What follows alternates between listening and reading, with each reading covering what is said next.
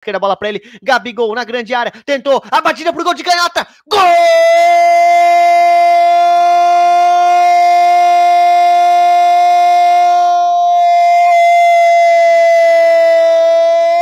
do Flamengo!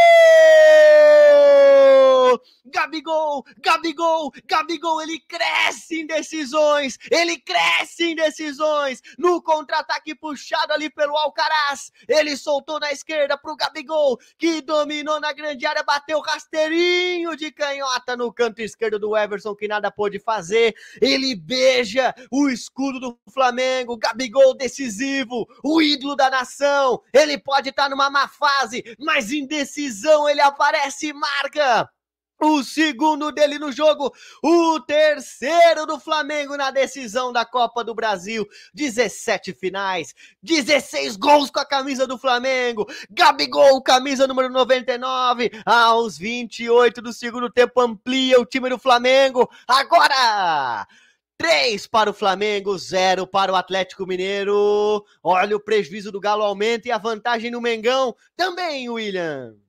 É complicada a vida do Galo, né? 3 a 0 vai ter que vai ter que tirar esses três gols de vantagem do Flamengo, vai ser trabalhoso, hein? É, o Galo botou o time mais para frente, é risco. Esse é o risco.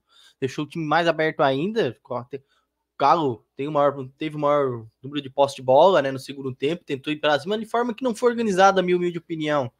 E pode, pode. E o Flamengo agora com o Gabigol, o cara